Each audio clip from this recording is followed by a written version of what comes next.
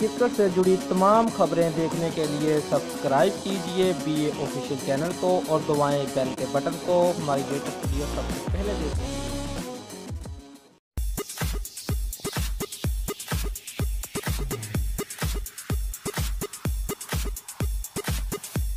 قومی cricket team کے fast bowler Hasan Ali نے ون ڈے کرکٹ میں پچاس وکٹیں مکمل کر لیں۔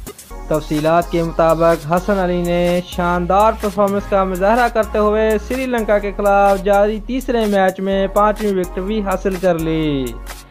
حسن علی پاکستان کی جانب سے تیز ترین پچاس وکٹیں لینے والے فاسٹ بولر کا اعزاز بھی اپنے نام کر چکے ہیں، جبکہ فاسٹ بولر نے پچاس وکٹیں لینے کا زبردست کارنامہ اپنے کیریئر کے چوبیسویں میچ میں ہی مکمل کیا ہے۔